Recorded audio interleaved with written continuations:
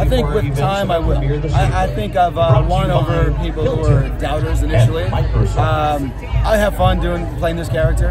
It's such a fun character to play. Um, I think as time goes by, you know, there's a generation of kids, of, of viewers that for the first time are seeing Magnum PI. I am the only thing they associate with that. They don't associate Tom Selleck. So for myself, I feel like I'm defining it for a new generation, and that's exciting.